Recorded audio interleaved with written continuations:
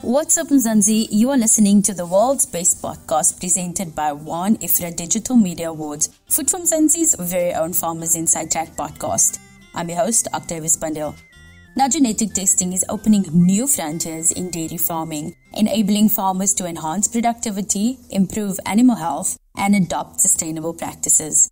Well, in this episode, Dr. Simon Lashmar a leading expert in animal breeding and genetics at the Agricultural Research Council, will be joining us to help farmers understand the practical applications and advantages of genetic testing in dairy farming. Lashmar's knowledge provides valuable insights into the ways genetic testing is impacting the industry. Simon, welcome to Farmers Inside Track. It's absolutely lovely to have you with us today. We will be diving into a very interesting topic, and I will be kicking off with the very first question. Can you tell us what is genetic testing and how is it applied in the context of dairy cattle? Hi, Octavia. Thank you so much for having me. In terms of genetic testing, what it is is that it's a method where we look at genetic changes, which we also sometimes refer to as mutations or variants in the DNA or the genetic makeup of animals. Some of these genetic mutations or variants can either cause disease or expression of certain desirable or undesirable phenotypes.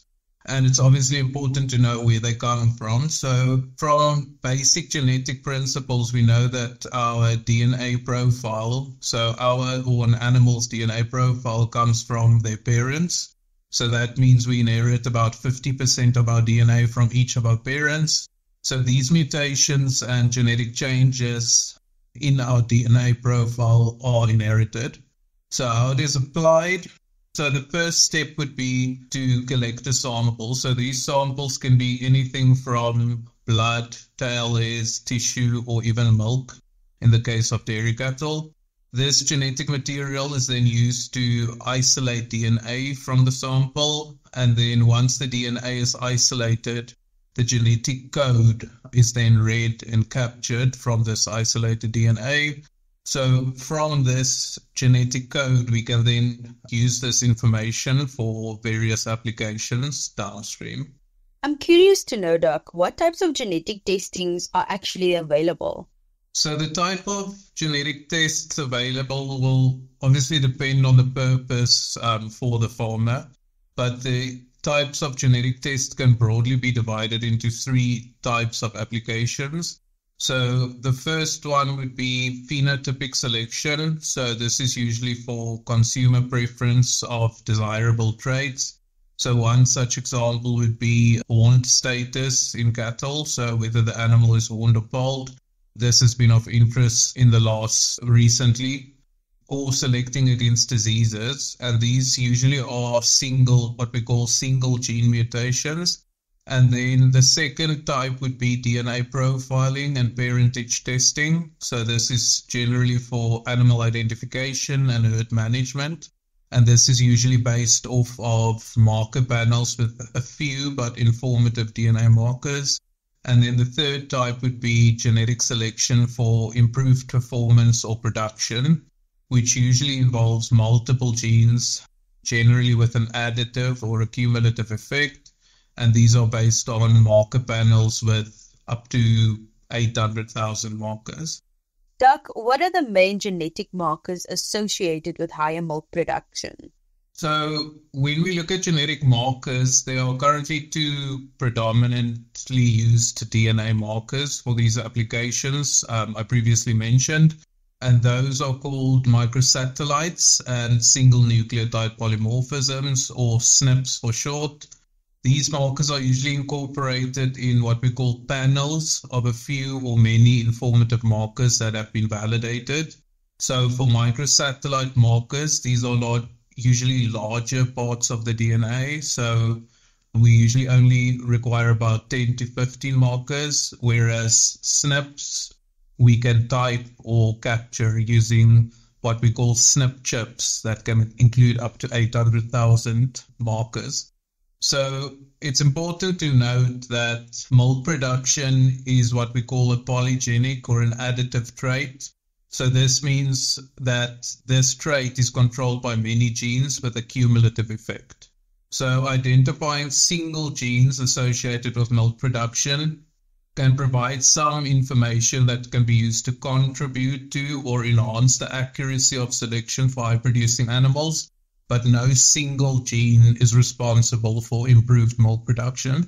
So, previous studies have identified several key genes that may contribute, and these include genes such as the DGAT1 and the prolactin genes, which have been found to influence milk production. Another important thing, or last important thing to also note, is that these genes that are responsible cumulatively for higher milk production may also vary between breeds.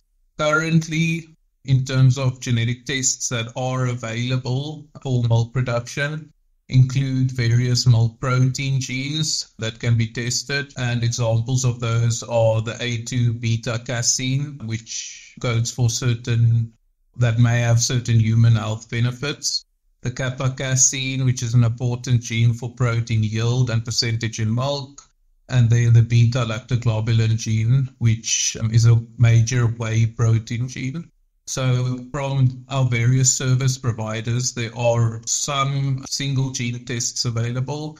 But as I said, an important thing to note is that improved milk production relies on the additive effect of many different genes. Can you explain how the identification of these markers translates into practical benefits for dairy farmers? So, the identification of DNA markers that are associated with um, a polygenic trait such as milk production is usually done through a methodology that we call genome wide association studies.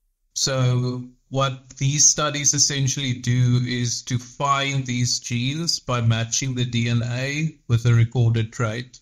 So, if I can just give an example, if a high producing cow has a certain combination of copies for a set of markers, and a low producing cow, on the other hand, has the opposite combination of copies for these markers, these specific markers are said to be associated with milk production.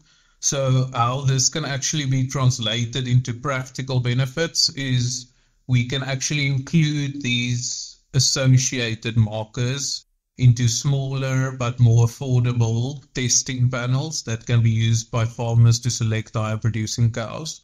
Alternatively, we also have genomic selection that can be applied in which a genomic breeding value can be estimated for an animal and what this is, is essentially just the genetic merit of an animal calculated from the effects of all the markers simultaneously for a specific trait such as milk production. Doc, I'm very curious to know what are the initial steps as a dairy farmer that they should take to start using genetic testing in their herd? So, on farm animal recording, in terms of pedigree and performance recording, is definitely an important prerequisite genetic information should not be a standalone, but should validate or support existing on farm records. That's one thing to note. So the DNA and the phenotypic information or the performance records go hand in hand. So the first step would be to conduct a detailed herd analysis. In other words, to do careful assessment of the farm's goals and market conditions, and then to decide on the purpose of including DNA in your breeding program. The second step would be to identify the appropriate herd management tools, in other words, the genetic tests, to develop the optimal breeding strategy. And this step may also include choosing the best service provider for your genetic testing. Thirdly and lastly is then to action this plan by focusing on testing the right animals. If I say right, I mean those animals that will be the most profitable in other words, the right replacement heifers and bulls for the next generation. What kind of investment is required for genetic testing, Doc, and what are the potential returns on those investments? So, the initial investment of genetic testing will be obviously the per animal costs of genotyping or testing. And this can obviously become expensive and wasteful if the entire herd is to be genotyped for most farmers who are thinking to include genetic testing in their breeding programs, the motivation to test should be to find the low producing animals in their herd and to remove those animals if a return on investment is the goal. So the return on investment will come in the form of accelerated genetic progress, saving on the associated costs of raising excess replacement animals, and just being able to develop alternative revenue sources by, for example, breeding lower quality animals to, let's say, beef semen. How frequently should genetic testing be conducted to maintain an optimal breeding program? So, the frequency of testing will depend on the purpose for the testing as well as the application of the DNA information. Initially, genetic testing will help to inform decisions on which cows to keep, buy, or cull. And then, obviously, after that, DNA information will continue to assist the farmer in making certain mating decisions and to reduce the risk of, for example, inbreeding and certain recessive genetic conditions. Certain applications will, however, be routine. For example, if we look at parentage testing, this will obviously need to be done every calving season. Are there specific breeds or types of cows that benefit more from genetic testing? In terms of breeds, definitely all dairy breeds can benefit. So in South Africa, our main dairy breeds are the Ayrshire, Jersey, and Holstein. So all of these breeds can definitely benefit equally from genetic testing. In terms of the type of animal, genetic testing is more useful for young animals. So testing at a young age provides animals with reliable genomic information to allow quicker decision making. In other words, to select the superior animals at an early age and remove inferior animals from the herd as soon as possible. Doc, we've been speaking about the benefits and just learning a little bit more about genetic testing. But I want to delve into some of the common challenges or limitations that farmers might actually face when implementing genetic testing. Can you share a little bit more about that? Some of the main challenges I would say um, is definitely a limited understanding of farmers in terms of how the genetic tests work. And this may stem from a lack of a general understanding of genetics. Genetics is a very abstract field because we can't really see it with our eyes, it's microscopic. It is sometimes difficult to understand some of the concepts involved in genetic testing. Definitely, a second one would be the costs involved, also the practicalities of the sampling, the application of the results to decision making, Many farmers receive genetic testing results, but they don't necessarily know how to use the results or how to interpret it. And then definitely also the benefits or the values to their business. Another limitation also pertains to the lack and inaccuracy of pedigree and performance recording. DNA testing, as I said previously, is not supposed to be a standalone strategy but the data yielded from testing should be incorporated into dairy producers' existing breeding and selection strategies. So, if this is not in place, it will be difficult to improve with genetic testing. So, if I can give an example with parentage verification, the farmer must provide candidate or possible bulls that may be fathers, and then the DNA information is used to identify the most likely one through a process of elimination. And this can obviously not be done if the correct pedigree based information is not in place. You know, that makes complete sense, Doc, as you are mentioning some of the limitations, and especially around education. I think that's such an important component to understanding genetics and also encouraging farmers to understand it a little bit more. How can farmers overcome these challenges to successfully integrate genetic testing into their breeding program? I definitely agree with you that we as researchers we can overcome these challenges by definitely raising awareness and improving on informal education opportunities for farmers etc in terms of the farmers overcoming these challenges i would say only genotyping the animals with known or potential problems. In other words, if we're looking at genetic testing for disease causing variants. Also, the farmer should start with genotyping animals that have the biggest impact on the herd and not necessarily to genotype animals that will be culled in the near future. and then always, always, always to implement accurate pedigree and animal recording. We, as animal breeders, cannot emphasize enough how important phenotyping still is in the age of genomics. You have mentioned specifically informal education and the importance of that, and as well as what the role of researchers within these things. But maybe let's delve into some of the misconceptions or myths that you actually think that farmers will have about genetic testing in dairy cattle. What would you say? What are some of those common myths or misconceptions that are out there? So that comes to mind one pertaining to misconceptions by farmers, and the other one pertaining to misconceptions from the public. Firstly, in terms of misconceptions among the farmers, is definitely that the availability of genetic or genomic information make on-farm recording less important, unnecessary, or redundant, and this is definitely far from the truth. Genetics should be used as a tool to support or enhance the accuracy of on-farm management and selection, but it should definitely not replace it.